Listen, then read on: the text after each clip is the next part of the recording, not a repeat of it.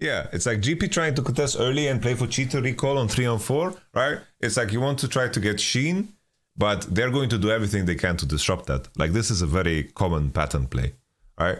And more and more I talk about it, like I said that the game is going to be bot centric and so forth. It's true, but this play is decent.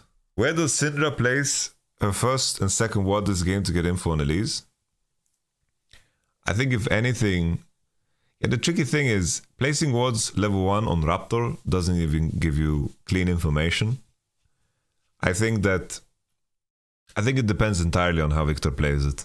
Because if Viktor is not contesting and you can like crash two, then you can just ward one pixel and then you'll be fine, right? Because you're gonna ward at like two 220.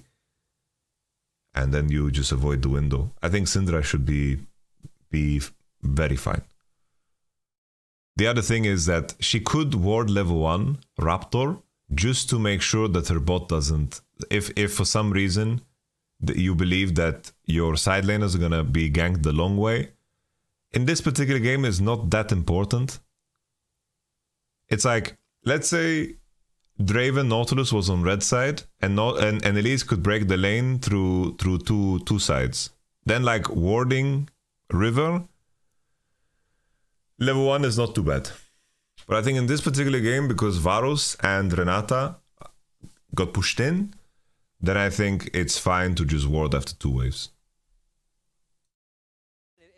At least this is my state of mind.